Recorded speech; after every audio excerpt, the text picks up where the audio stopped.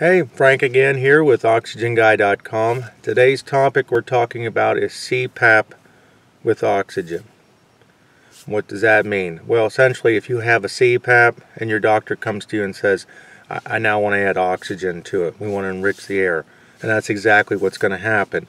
Your CPAP will be just as normal, you'll have your mask, you'll have your machine, but in between there'll be a, a little bleed in and a tube where you will basically uh, put your oxygen into your CPAP to enrich the air.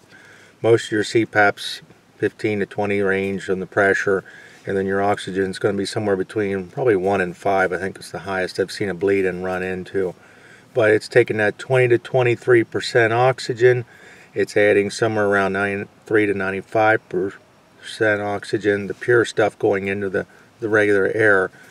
And it's going to create a, a more better environment for you to sleep with.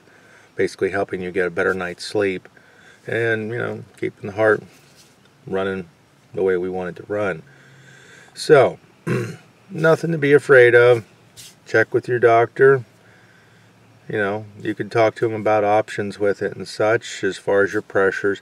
But basically, with your provider, what you'll want to do is if the oxygen machine have them turn it on when they're hooking up the bleed into the CPAP. If you feel it's a little loud, have them put it in another room. That's your best bet.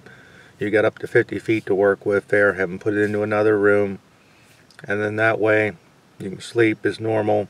You have your bleed in, your enhanced air, and you'll be in great shape and hopefully in better health. Now, that's it for today. Like us, subscribe, join us. I'm Frank. This is OxygenGuy.com, and you have a good day. Thank you.